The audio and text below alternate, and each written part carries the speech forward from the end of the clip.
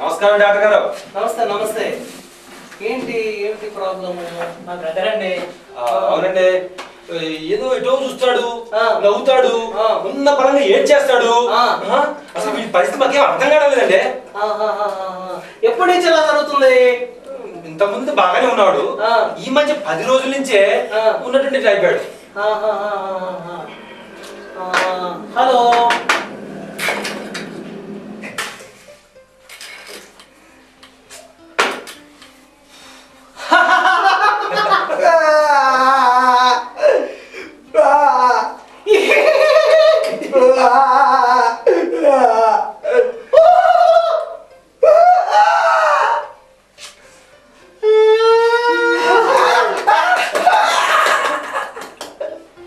ఏడుస్తే నవ్వుతాడు నవ్వుతే ఏడుస్తాడా ఆ.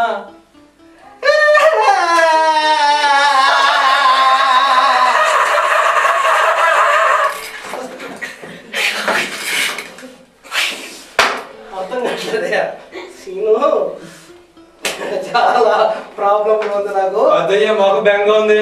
ఓ పని చేస్తాయా నాకు ఐడియా వచ్చింది. చేస్తా చేస్తా. నీ సంగతి తెలుస్తా.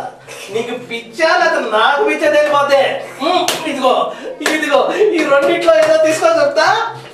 తీసుకో తీసుకో రెండిట్లో. రెండిట్లో ఏదో తీసుకో తీసుకో. అదే అదే అదే. కాదే. మెంటల్ కేసు కాదు. మెంటల్ కేసు కాదు కాదు లాక్కోవయ్యా చూస్తావేంటయ్యా ఇలా లాక్కో.